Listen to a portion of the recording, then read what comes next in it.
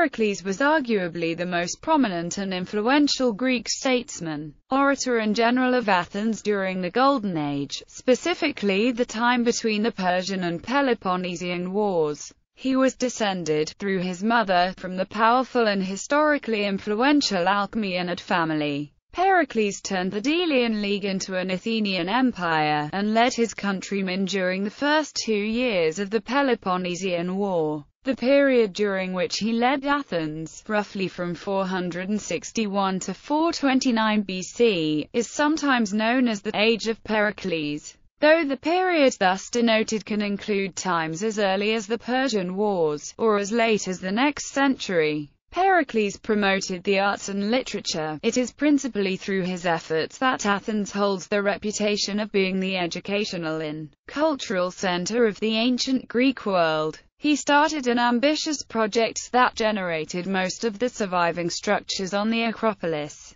This project beautified and protected the city, exhibited its glory, and gave work to the people. Pericles also fostered Athenian democracy to such an extent that critics call him a populist. Early years Pericles was born c. 495 BC, in the deme of Cholargos just north of Athens. He was the son of the politician Xanthippus, who, though ostracized in 485-484 BC, returned to Athens to command the Athenian contingent in the Greek victory at Mycale just five years later. Pericles' mother, Agarista, a member of the powerful and controversial noble family of the Alcmaeonidae, and her familial connections played a crucial role in kick-starting Xanthippus' political career. Agarista was the great-granddaughter of the tyrant of Sicyon, Cleisthenes, and the niece of the Athenian reformer Cleisthenes. According to Herodotus and Plutarch, Agarista dreamed, a few nights before Pericles' birth, that she had borne a lion. Interestingly, legends say that Philip II of Macedon had a similar dream before the birth of his son, Alexander the Great. One interpretation of the dream treats the lion as a traditional symbol of greatness.